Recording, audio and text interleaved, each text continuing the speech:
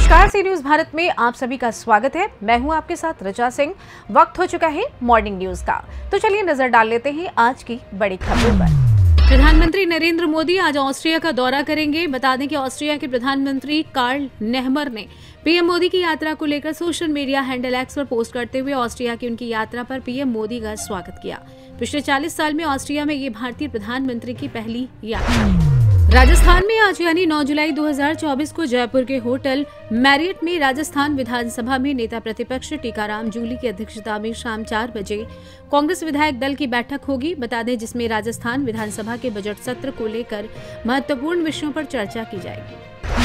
ITI में आज जारी होगी दूसरे चरण की मेरिट लिस्ट। वहीं आज यानी 9 जुलाई को दूसरे चरण की मेरिट सूची जारी की जाएगी। आपको बता दें, इसके अंतर्गत चार दिन तक फ़ीस जमा कराई जा सकेगी। ज़िले की नौ राजकीय आईटीआई में अलॉट सीटों पर 500 से अधिक विद्यार्थियों ने दाखिला लिया है।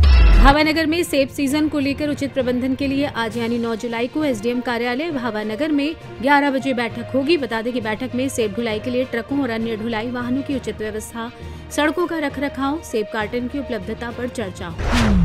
आज यानी 9 जुलाई को नेशनल शुगर कुकी डे मनाया जाएगा। बता दें, इस दिन को शुगर लवर्स अपने तरीके से सेलिब्रेट करते हैं। शुगर कुकी एक बेहद स्वादिष्ट चीज़ है जो लोगों के जीवन में हर मौके पर एक बड़ी भूमिका निभाती है।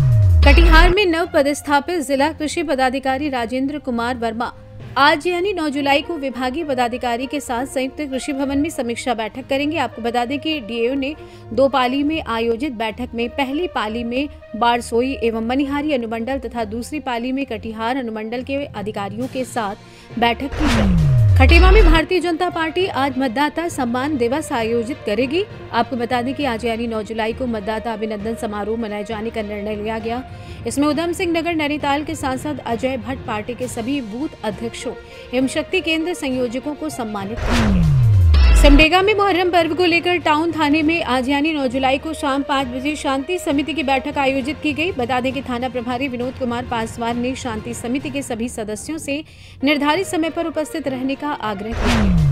परिषदीय स्कूलों में बीते सोमवार से ऑनलाइन उपस्थिति को लागू किया गया है। बता दें, इसके विरोध में तमाम शिक्षक संगठन एकजुट हो गए हैं। उन्होंने बीते सोमवार को इस आदेश के विरोध में आक्रोश रैली निकालने का ऐलान किया है। इस दौरान मुख्यमंत्री के नाम संबोधित ज्ञापन जिलाधिकारी को सौंपा जाएगा। राजस्थान में आज पूर्वी और पश्चिमी क्षेत्रों में वर्षा हो सकती है। बता दें मौसम विभाग द्वारा पूर्वी राजस्थान में जयपुर कोटा झालावाड़ अजमेर दौसा और अलवर तथा पश्चिमी राजस्थान में जैसलमेर सीकर चूरू हनुमानगढ़ और नागौर के लिए येलो अलर्ट जारी किया गया है। वक्त हो चुका है इतिहास का तो चलिए जानते हैं आज का दिन क्यों है कुछ खास। साल 1925 में आज के दिन प्रसिद्ध अभिनेता एवं निर्देशक गुरुदत्त का जन्म हुआ था। साल उन्नीस सौ अड़तीस में आज के दिन भारतीय अभिनेता संजीव कुमार का जन्म हुआ था। साल उन्नीस सौ इक्यानवे में आज के दिन एक सुप्रसिद्ध शायर शेरी भोपाली का निधन हुआ था। साल 2000 में आज के दिन फिजी में जॉर्ज स्पीड तथा सैन्य नेताओं के मध्य समझौता संपन्न हुआ था। साल 2001 में आज के दिन भारत द्वारा पाक सीमा पर दो चौकियाँ स्थापित करने की घोषणा हुई थी। मॉर्निंग न्यूज़ में बस इतना ही। देश दुनिया की तमाम खबरों की जानकारी के लिए जुड़े रहिए सी न्यूज़ भारत के साथ। हर खबर आपके साथ, आपके हाथ।